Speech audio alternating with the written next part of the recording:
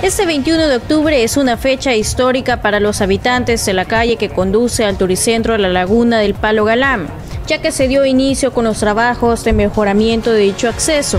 Ya estamos con los equipos de trabajo y estamos dando inicio a lo que es este gran proyecto. Así es que agradecida con Dios, con la comunidad, por esa confianza que tuvieron, ¿verdad? Y por esa espera que han tenido durante mi gestión. Apenas dos años y medio, pero hemos dado cumplimiento a muchas de las promesas que hicimos.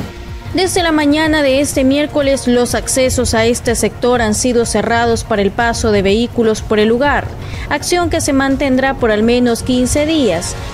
Prácticamente nosotros tenemos unos 15 días para terminar lo que es la colocación de carpeta asfáltica para después quedar en la reparación y construcción de canaleta y el drenaje que va a tener lo que es la...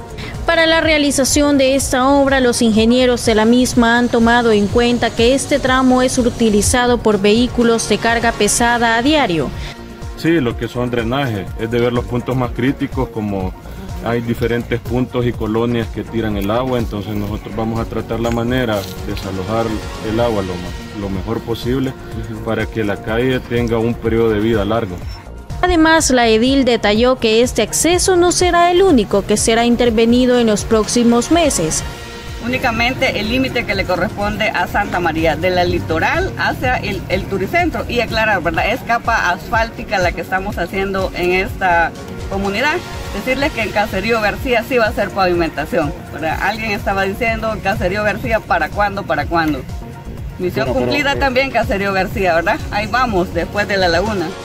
Esta obra beneficiará a muchos sectores que utilizan este tramo, ya que son al menos 100 familias que residen en este punto, además de los vehículos de distintos municipios que ingresan por este punto, así como el transporte público.